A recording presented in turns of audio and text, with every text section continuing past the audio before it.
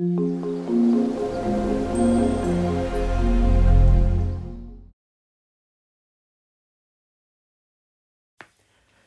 arkadaşlar. En son dersimizde iki sayının ortak katlarını buluyorduk. Şimdi bunlarla ilgili alıştırma yapalım ve konumuzu iyice pekiştirelim.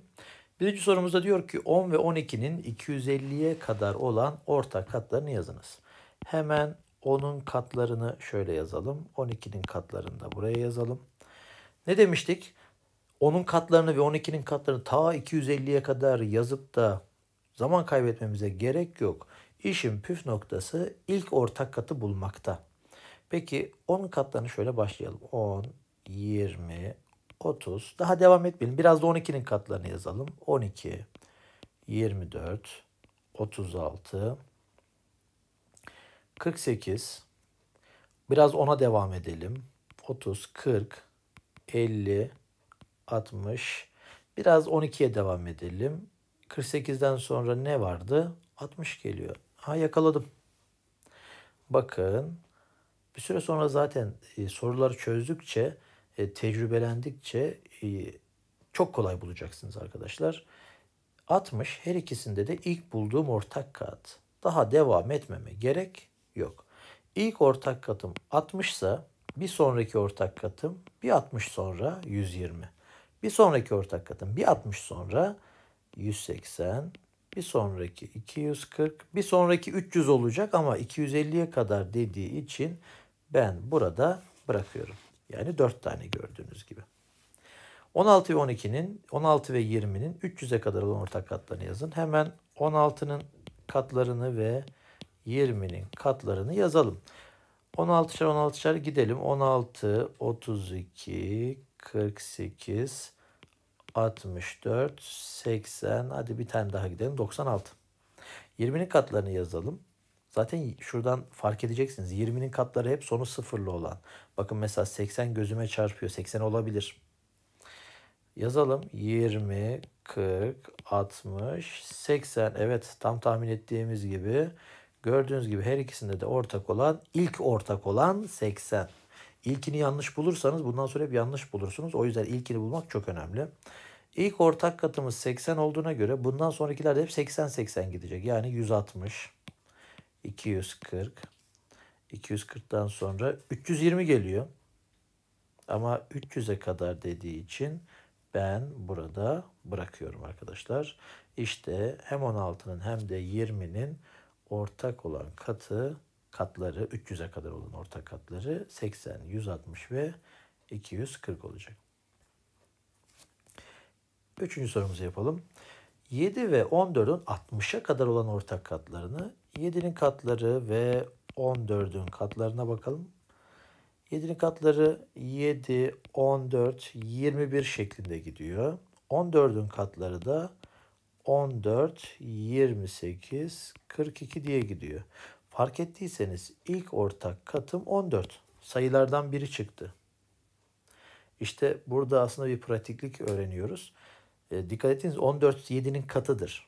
Birbirinin katı olduğu zaman büyük olan denk geliyor arkadaşlar. Bunu ilerleyen yıllarda kural olarak vereceğiz ama şimdi ona değinmeyelim. Ezberlemenize gerek yok. E, 7 ve 14'ün ilk katı gördüğünüz gibi 14 çıktı. Hemen yazıyorum.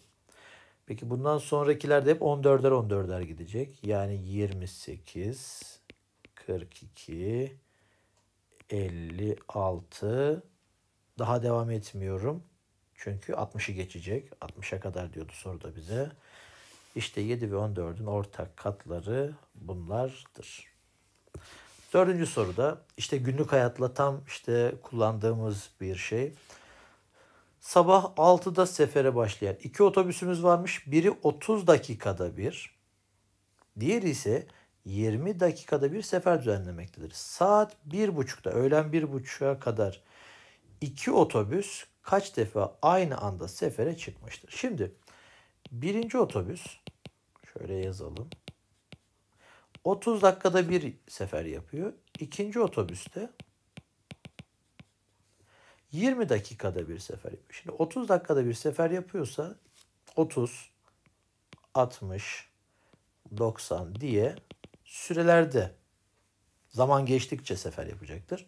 İkinci otobüs 20'şer dakikada bir yani 20, 40, 60, 80 diye bu şekilde seferler yapacaktır.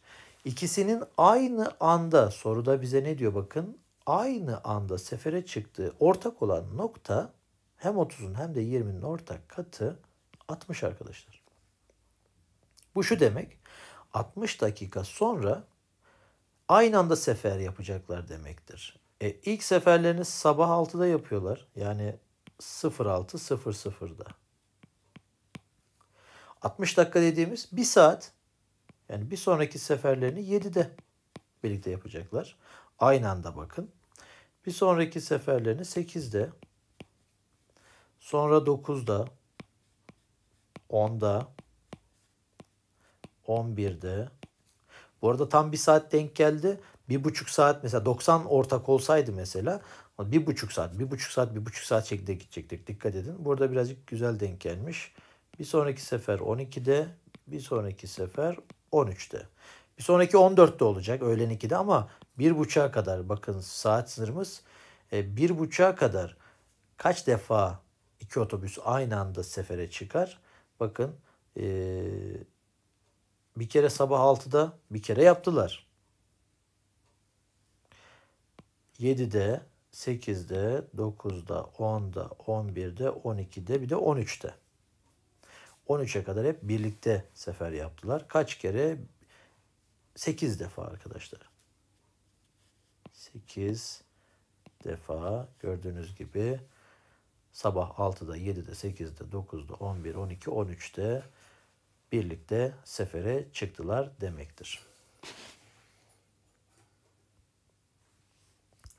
Beşinci sorumuza bakalım. Resimde bir topaç görüyorsunuz arkadaşlar. Eskiden e, çocukların çok oynadığı bir oyuncaktı.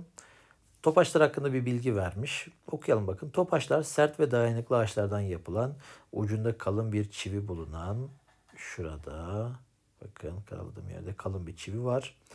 Ee, bu çivi yardımıyla dönüyor.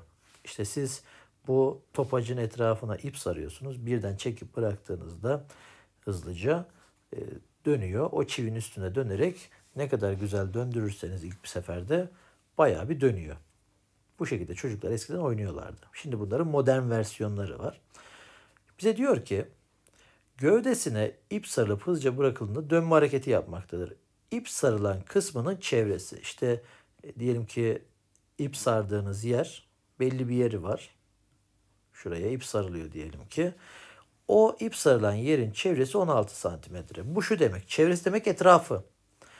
İpi etrafına doladığınızda, bir tur doladığınızda 16 santimetrelik ip doluyorsunuz demektir. Çevresinin 16 olmasındaki kasıt bu. 3 farklı ip vermiş. Pembe, mavi ve siyah. Hangi ipler sarıldığında hiç ip artmaz diyor. Şimdi ipi topacın etrafına bir tur döndürdüğünüzde 16 santimetre ip dolarsınız. Bir tur daha döndürürseniz yani ikinci turu döndürürseniz bir 16 daha 32 santimetre. Bir 16 daha 48. Bir 16 daha 64. Gördüğünüz gibi 16'nın katları şeklinde gidiyor. Peki şöyle biraz daha devam edelim. 80, 96 diye gidiyor. Peki bizim iplerimiz dikkat ettiyseniz pembe olan ip 48 santimetre. Listemizde var mı? Var. Bu şu demek. 48 olan pembe ipi bu topaca dolarsanız tam dolanır. Yani hiç artmaz. Tam da soruda istediği gibi. 52 olan mavi listemizde olmadığı için 52 olan tam gelmez. Mesela 48'ini dolarsınız 4 santimetre artacaktır. Ama bize soruda hiç ip artmasın diyor. Peki siyah olan 96 tam mı gelir? Evet listemizde 96 da 16'nın katı. O yüzden 96 da olur. Yani pembe ve siyah ipleri tam dolarız ama mavi ip tam dolanmaz demektir. Ve son sorumuzda biz arkadaşlar bu mutfaklara, banyolara döşenen 3 tane kare şeklinde fayans örneği verilmiş. Birinin kenarı 16, birinin 30, birinin de 20. Peki bizde ne istiyor? Diyor ki 320 santimetre yüksekliğindeki bir duvara yerden tavana kadar kare fayanslar bütün olarak döşenecektir. Yani kesmek, parçalamak yok. hangi fayans çeşidi kullanıma uygundur? Şimdi düşünün yerden şöyle yerden tavana kadar 320 santimetrelik bir duvar var. Siz 16'lık olanı kullandığınızda 16'şar 16'şar şöyle döşeyeceksiniz değil mi? Şöyle 16 bir tane daha döşeyeceksiniz 16 bir tane daha düşeceksiniz 16. 16, 16, 16 yani 16'nın katları şeklinde gidecek. Peki 16 sayısının katı mıdır acaba 320? Eğer katıysa 320'lik duvara tam denk gelecek demektir. 16, 320'nin 16'nın katı olup olmadığını anlamanın yolu 320'yi 16'ya böleceğiz.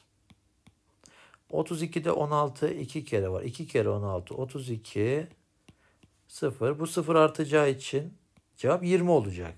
Bakın ne oldu? 20 tane 16'lık fayanstan kullanırsam duvara tam denk gelir. Demek ki 20 tane bundan kullanırsam olur. Tam. Birinci şekil oluyor. İkinci şekle bakalım. Şimdi 30'luk olan fayanslardan döşediğimi düşünelim. Yukarıya doğru. 30, 30, 30 diye döşemeye başladığımda bu sefer 30'un katları şeklinde gidecek. Peki 320 30'un katı mıdır bakalım. 32'de 30 hatta bölmeden de bulabilirsiniz. Nasıl? Hani 30'dan 10 tane kullansam 300. Bir tane daha kullansam 330. 320 olmuyor. Hatta görelim bakın. 32'de 31 kere var. 1 kere 30 30. Kalan 2. E bu sıfır aşağı indirelim. 20'de 30 sıfır kere var.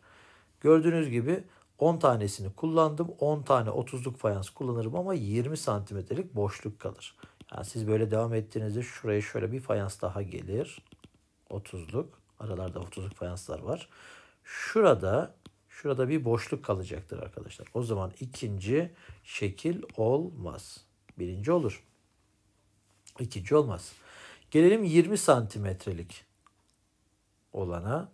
Şimdi 20 santimetrelik uyacak mı bakalım.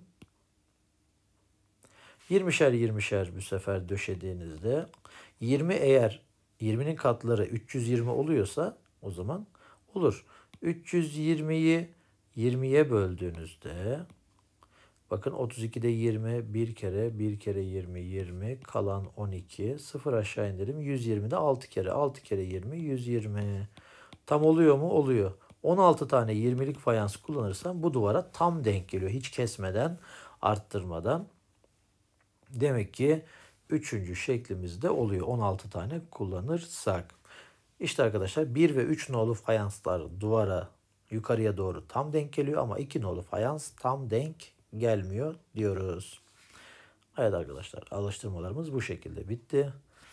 Bir sonraki dersimizde görüşmek üzere. Hoşçakalın.